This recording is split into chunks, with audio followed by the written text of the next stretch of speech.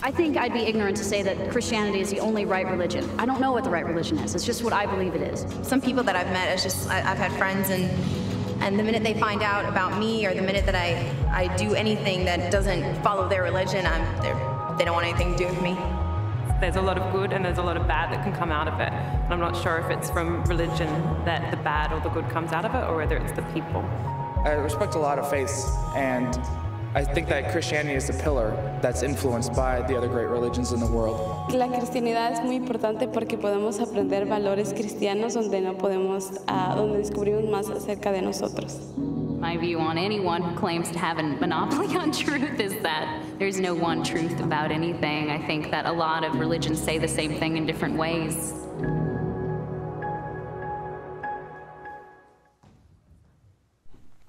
Well, again, welcome back um, to week four of Explore God. Whereas the, the video, our introductory video, um, showed us, we're dealing with this question this morning is Christianity too narrow in our culture?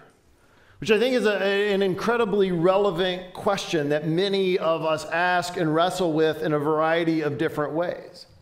And, and every week, as we've tried to take on each of these questions and we try to deal with them in an honest and a forthright way, I, I've tried to consider it not just merely from the perspective of an intellectual conversation or a debate or anything like that, but really, really trying to drive at or understand the heart of the question especially specifically from the perspective of somebody that is wrestling with that. that that's the question for them of, of the seven that we're dealing with, or the questions that we ask in life. That's the one that, that, that is at the forefront of, of their thought and life.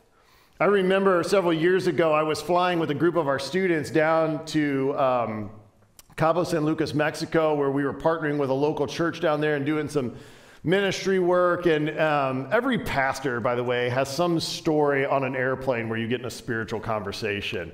Um, it's like a requirement. And this was my moment, right? I'm on this flight, and the, the man next to me sits down and starts to talk about what I do for a living and ask a few questions. So I told him, I'm, I'm on this trip, I've got all these students, and we're partnering with a church down in, in Cabo, and they're just doing some incredible work. And he was really curious.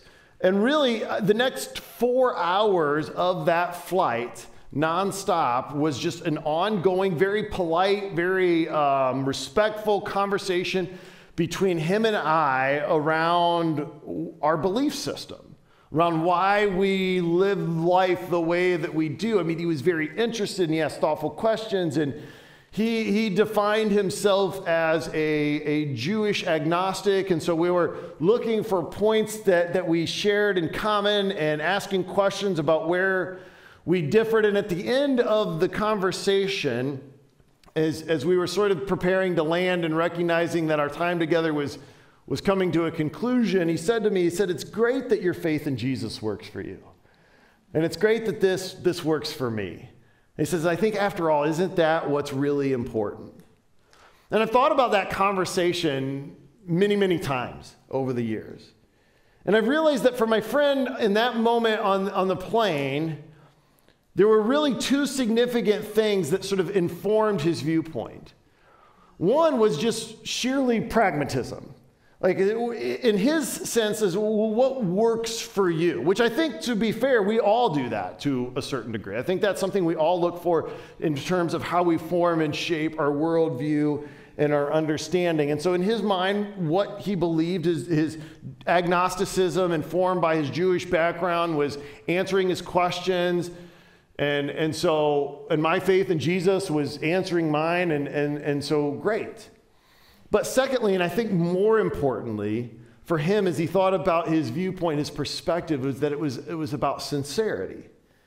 That if someone's belief is sincere, then it is, is valid and it is effective. So, because of the fact that both of our beliefs were, were working for us, he felt like it was answering the questions that he had in his life, and mine was doing the same for me. And because both of us were sincere in that, then it sort of met the criteria that is essential for claiming truth. That, that both were, in essence, equally valid. In addition, by that standard, really any number of people could have joined our conversation, and if they met those qualifications, then their perspective or their viewpoint would be equally valid.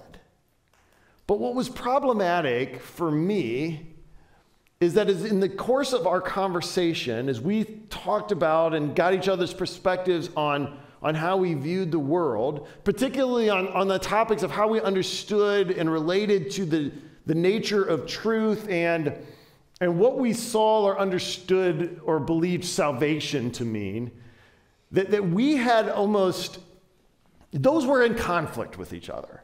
I wouldn't say that diametrically opposed per se, but they, they were mutually exclusive. The way that we viewed, we disagreed on those points to the point that, that both of us could not be right, no matter how sincere our, our beliefs were. See, we wrestle with this question in our culture. We, we wrestle with this in, in the life of the church. We live in an increasingly diverse world. And because of technology, we have increasingly high degrees of exposure to diversity in culture, diversity in religion, philosophy, worldview. And so, for anybody to claim, as we saw in the video, some level of exclusivity or to, to claim to hold the, the right perspective on truth, oftentimes um, brings with it accusations of, of arrogance um, or intolerance. And, and, and again, sometimes when we're wrestling with this, those feel almost justified. How, how, what gives you the right to say your perspective is right and someone else's is wrong? So, uh, one of the ways that this question gets framed, I think, sometimes even in the life of, of the church is something like this Is there room for the Christian faith to recognize that there might be other ways to God? While you have found your way through Christ, is it possible that others have found their way through other means? Or, or, perhaps put differently, and I've heard it said this way, is that aren't all of the different religions and the different worldviews, aren't they just sort of paths on the same mountain? And, and they're just leading us all to that one pinnacle moment, which is a relationship with God, that same destination.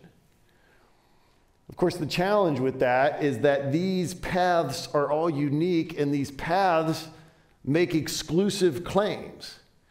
Uh, exclusive claims that are, that are contrary to each other. In fact, any real understanding of, of truth involves the idea of exclusivity, right? Any conversation around that. Because for me to say or to qualify something as truth, that is also then to say that something else is, is untrue. And so when we're looking at this, this topic of narrowness, we need to understand that this is not a question or a perspective that's unique to Christianity any, any worldview, any religion, any philosophy that seeks to inform how we live our lives is claiming some degree of truth, and by that, there's some degree of exclusivity that goes with it. And so the question is Christianity too narrow? I, I would say to that that Christianity, the claims of Jesus are narrow. But they are not narrow in an attempt to exclude people, but rather narrow in an effort to be clear and to be specific about what it means to be saved, about the nature of truth and how we experience and discover salvation. I want to look this morning at a passage in Acts 17 where, where Paul is um, speaking. And so Paul was was when we're first introduced to Paul, Paul is, is diametrically opposed to Christians and the Christian movement. Um, he is convinced of his worldview and his way of life, and, and he is actively opposing anyone who is proclaiming that Jesus has been risen from the dead, so much so that he's seeking to hunt down and, and persecute people who are doing that. He has this powerful account with Jesus, uh, encounter with Jesus, and as a result of that, he becomes one of the leading uh, voices who is taking what we call the gospel or the message of Jesus out into Asia Minor, around the world. He's planting churches in all these different cities. And now in Acts, he shows up in the city of Athens. I'm going to read through this, this whole kind of encounter and then we'll, we'll make a couple observations together. This is uh, Acts 17, beginning in verse 16. It says, While Paul was waiting for them in Athens, he was greatly distressed to see the city was full of idols. So he reasoned in the synagogue with both Jews and God fearing Greeks, as well as in the marketplace day by day with those who happened to be there. Now, a group of Epicurean and Stoic philosophers began to debate with him. Some of them asked, What is, what is this blabber, uh, blabber, blabberer trying to say? Others remarked, He must be advocating some foreign God. They said this because Paul was preaching the good news about Jesus and the resurrection. And then they took him and brought him to a meeting of the Areopagus, where they said to him, May we know what this new teaching is that you are presenting.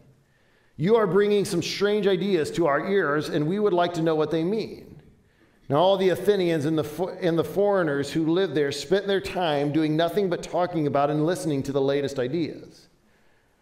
Paul then stood up in the meeting of the Areopagus and said, People of Athens, I see that in every way you are very religious.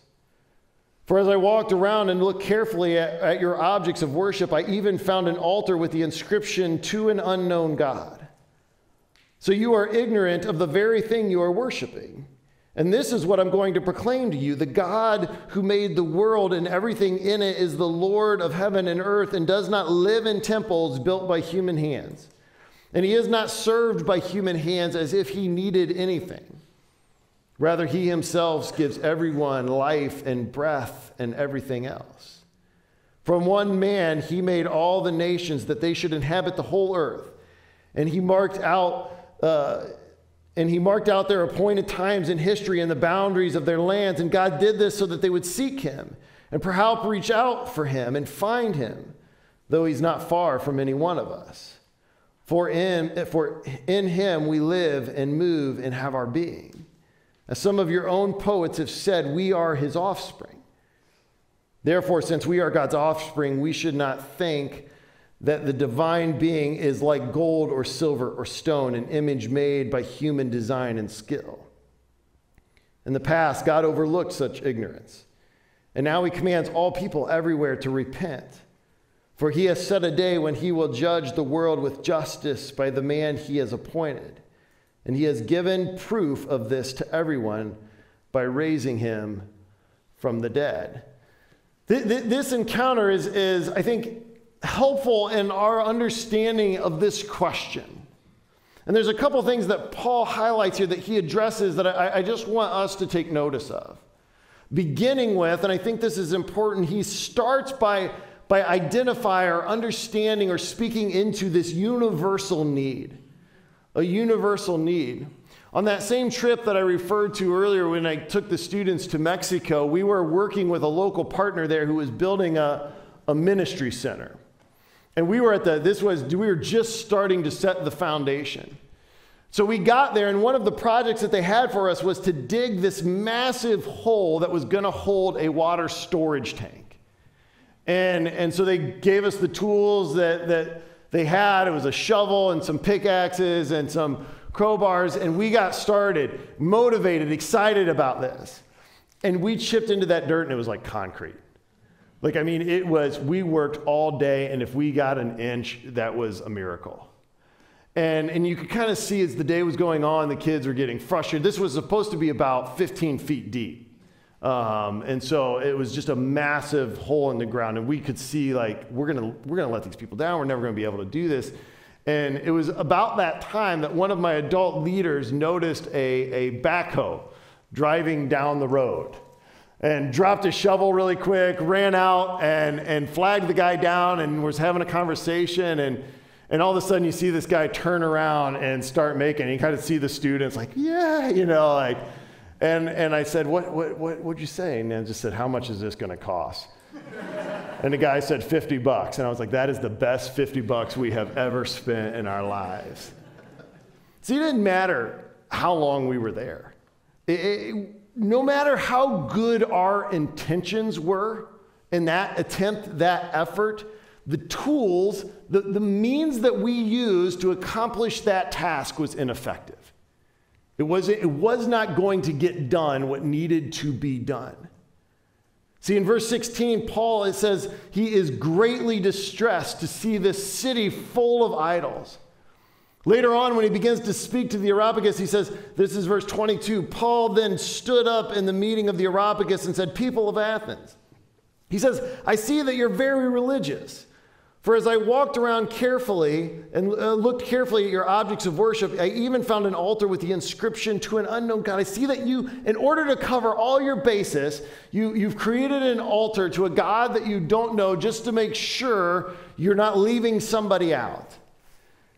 So you are uh, uh, ignorant of the very thing that you worship. And this is what I'm going to proclaim to you, Paul says. So, so Paul in Athens is speaking into a culture of diversity and a culture of religious pluralism. He, he's speaking to a group of people that were familiar with and comfortable with the exchange of philosophies and worldview. This is this said commonplace. This is what they did all day. This is the home of people like Socrates and Plato and Aristotle.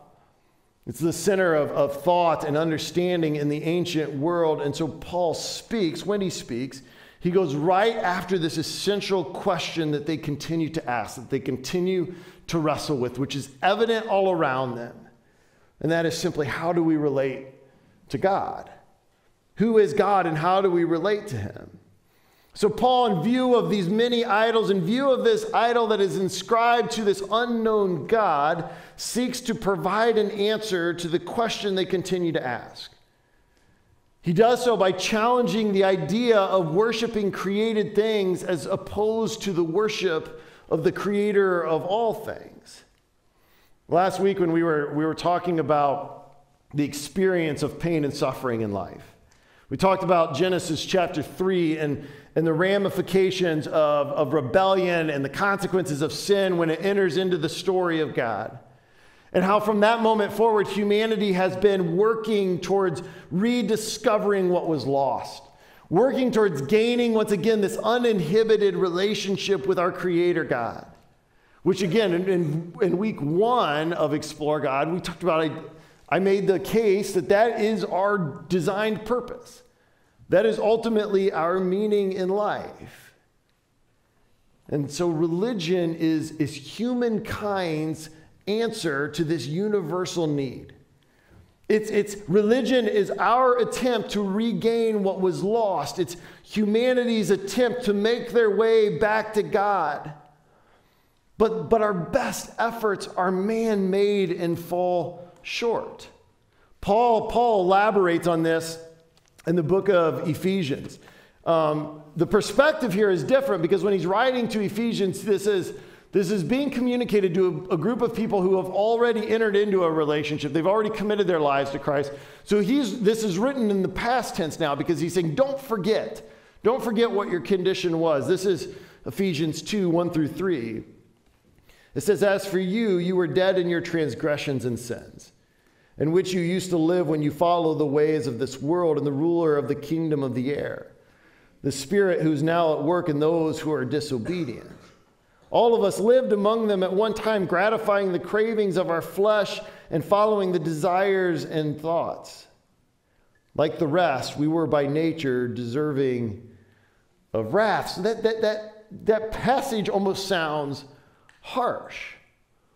But, but what Paul is getting at here is that all of our attempts are leaving us wanting because our condition isn't one of, of spiritual woundedness. According to Paul, he's saying our condition is spiritual death. We are incapable of resolving our most critical need, our, our, our, this universal problem that Paul identifies in Acts 17. And it's no less true now than it was then. Paul is seeing all the symptoms in Athens. He looks around at the idol worship. He looks around at people's efforts to, to restore and to get back and to appease the wrath of this angry God that they perceived. And he identifies the condition and he says, everything, all the effort in the world won't resolve this problem. It won't meet this need. I think it's easy at times to look at a, a, something like Acts 17 and to think this is a completely different culture and a completely different time. That haven't we come a long way? See, but the heart of the issue remains the same. The heart of the issue of, of, of our attempts to, to restore, to be right, in right relationship with God is when, when we depend on, on mere religion that's just more efforts at, at being a good enough person. It's, it's more efforts at living a good life. It's like uh, life, uh, like my friend on the plane, his sense was that his objective was if I can leave this place better than I found it, then I will have fulfilled my call in life. It's all of our, our efforts to be, be a little bit more religious than the person around us to hope when it's all added up at the end of the time that the scale tips in our favor and it's all just our effort to resolve this fundamental problem. And Paul says no matter what you do and no matter how hard you work, it won't accomplish that. And so then he goes on now and he speaks into this universal need. So when we're talking about narrowness, Paul begins by leveling the playing ground. And he says there's all, there is a need that every single one of us has. And now he speaks into that need and he talks about God's great provision. God's great provision. When I was a, um, a student at Moody Bible, I um, got a job working as a security guard in the Swiss bank, which was housed in the Chicago Board of Trade. I worked Friday and Saturday night from 10 p.m. till 6 a.m.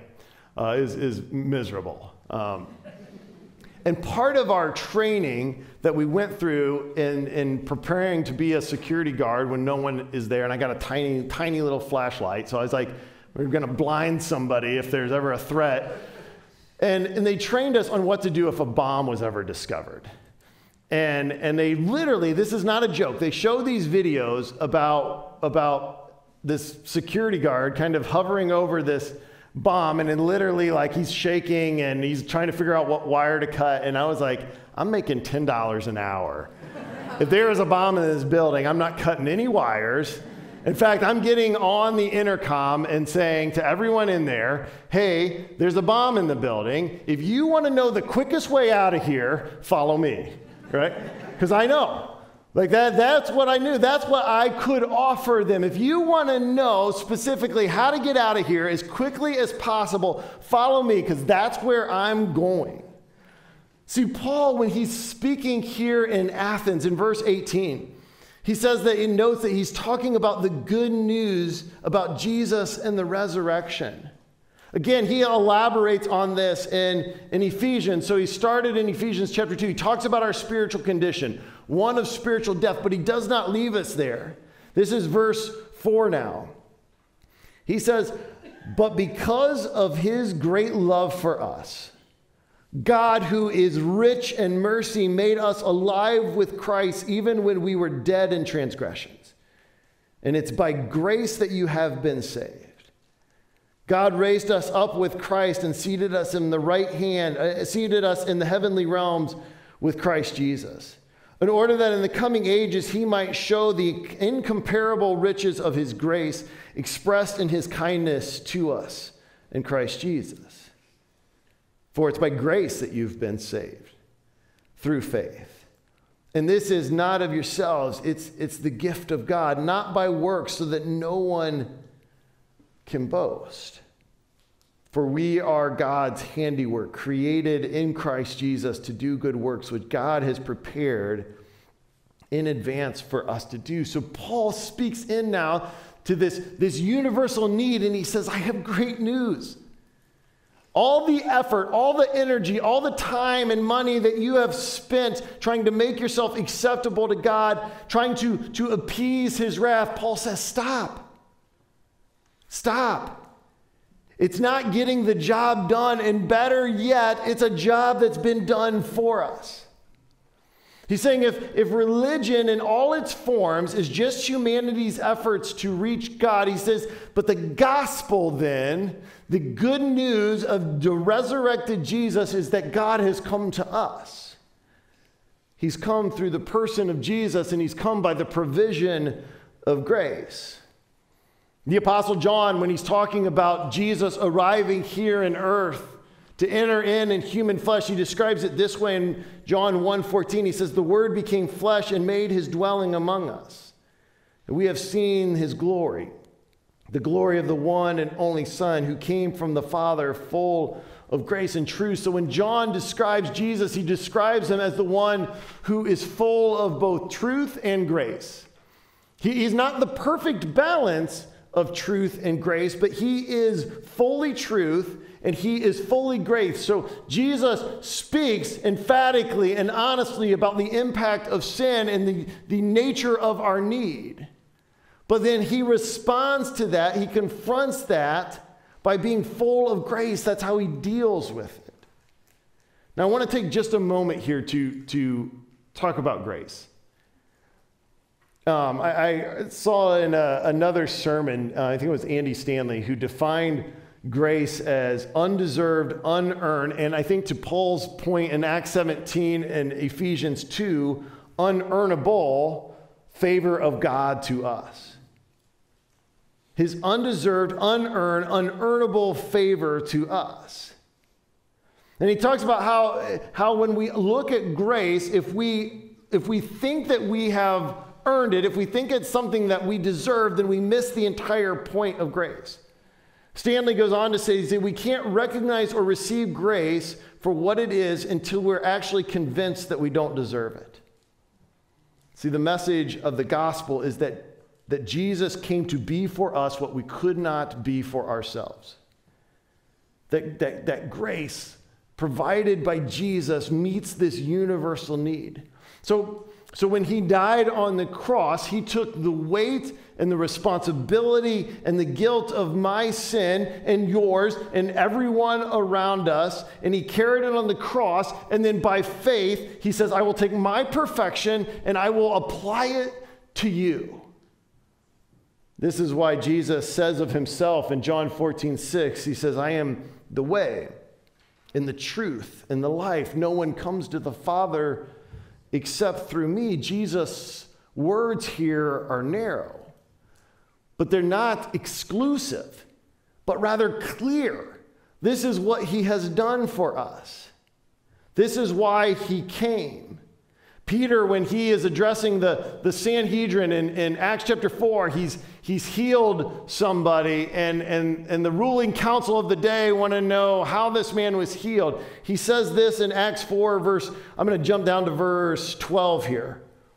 He says, Salvation is found in no one else, for there is no other name under heaven given to mankind by which you must be saved. So, his, this expression of Peter in these words is not an expression of intolerance, but rather one of invitation. It's the provision of grace that meets our most fundamental need. Jesus isn't the only way an attempt to keep people out. Jesus is the only way that God has provided for us, that He's given us this undeserved, unearned gift of grace. Jesus is not a religion. He, he is not another human effort that's, that's our, our attempt to make ourselves right with God. He is God who overcomes sin and enables us to have a relationship with Him. And that is a very different thing. So, if, if the need is universal and, and the provision is available to all, where Paul leaves us with then in Acts 17 is this, this personal response. If you look back in Acts 17, when Paul is talking to the, the uh, Athenians there, and he lands in this place of response, again in verse 31, he says, For he has set a day when he will judge the world with justice by the man he has appointed. And he's given proof of this to everyone by raising him from the dead. We're not we're not going in today to, to the significance of the resurrection, but both you'll see Paul here, Peter, when he's talking in Acts chapter 4, they, they constantly cite the resurrection as evidence for, for their claims. When Paul is dealing with this, he's saying there's a need that we all have, and there's a provision that God has given to everyone. Right? That's John 3:16. God so loved the world that he gave his one and only Son, that whoever believes in him won't perish but will have eternal life. And so, Paul, what he frames up here to, to the, the men and women of Athens, what he frames up to us is then what is our response for God's provision? One of the, the privileges that I have from time to time as a pastor is moments when somebody in, in this group of people is, is in need and somebody else becomes aware of that and, and, and meets that need. And, and because they desire to remain anonymous, because they just want it to be a gift, they'll sometimes come to me and say, Hey, would you, would you deliver this gift to somebody? And of course, I'm always happy to do that. And, and whether it's a phone call or, or it's actually stopping at their house, I mean, literally, there's been times when this is, this is an envelope with cash in it. And you come to somebody's house and you knock on the door and said, Hey, there's somebody out there loves you and uh, was aware of a need and they just wanted you to have this.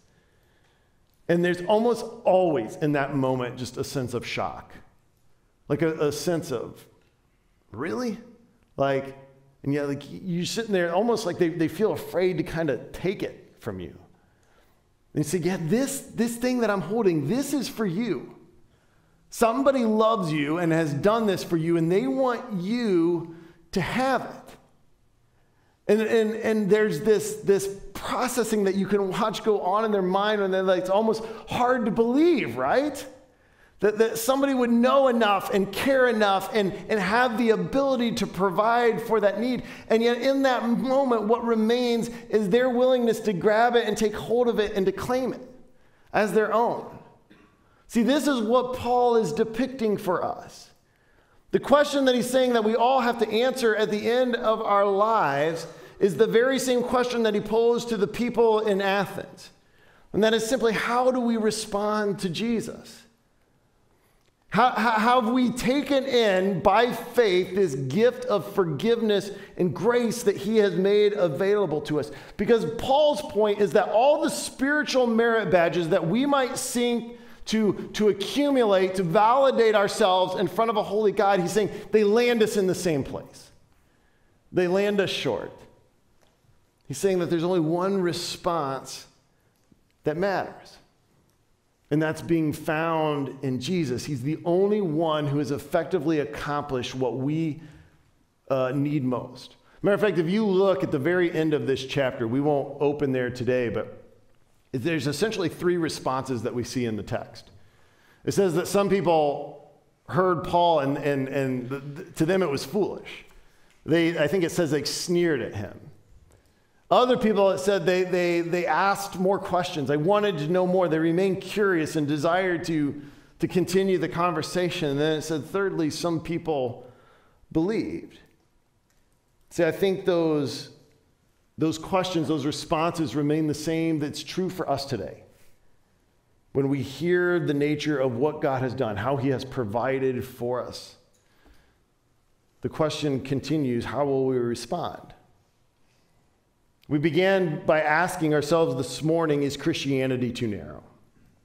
I, believe that Christianity is narrow in the sense that it is clear and it is specific about our need. It is clear and it is specific about God's provision for that need. But understand that Jesus coming and dying on the cross and bearing sin and giving us grace is not an effort to keep people out.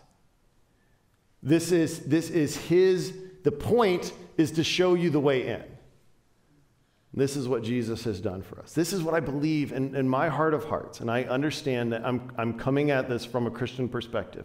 But this is what makes the message of Jesus so unique. It's, it's not about how religious you and I are, it's not about how many hours we've put in serving, it's not about how much money we've given. It's about a relationship with our Creator God that is possible through faith by grace in the person and work of Jesus Christ. We're going to um, conclude this morning by wrapping up with a time of response and communion together. Um, if you've been around Chapelstreet for a while, you'll know that we, we value this time together because it's such a clear and powerful picture of, of grace in our lives and what God has done for us. It reminds us of that message. If you're new with us this morning, Um, this, you do not have to be a member of this church or, or attended here for a long time to participate in communion. The only parameters that we see Scripture place around communion is that we're in a, a relationship with Jesus, that we have claimed His grace and forgiveness, and, and that we've identified with you. If you're still seeking, that's, that's absolutely okay. Um, you can let the tray pass by and, and, and just take in the moment. Um, I'm going to pray for us, and then you can take both cups. You'll see there's two stacked together, and then I will come up and, and guide us through the taking of the elements together. Let's pray. Gracious Father, we thank you for this day. We thank you for this time that we have together. We thank you that we can meet you at the table once again to be reminded of the incredible gift of salvation that's available in you. And Lord, we understand that you have met our greatest need through your provision of Jesus Christ by grace. Lord, we ask these things in your name. Amen.